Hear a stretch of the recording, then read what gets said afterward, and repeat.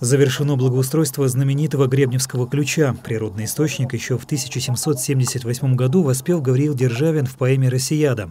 В 2018 благодаря усилиям жителей, была найдена водоносная жила Гребневского родника в Березовой роще, которая считалась утраченной. При участии местных властей удалось приступить к восстановлению родника.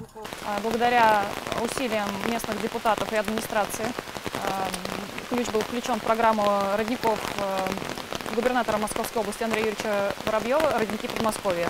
Первые два этапа благоустройства происходили за счет э, муниципалитета. Финальный этап выполнен при поддержке благотворительного фонда «Экология для всех». На привлеченные средства, а это около половины всех расходов, по проекту, созданному местными жителями Ольгой и Сергеем Еремовичами, построена площадка с каптажной камерой и каменная стена, укрывающая родник от ветра.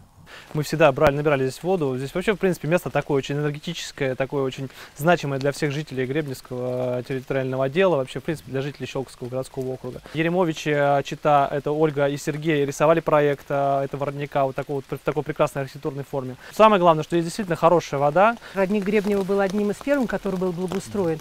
Сейчас прорабатывается вопрос о благоустройстве родника в Еремино. А, также будет э, сделан э, проект и, конечно, он будет реализован.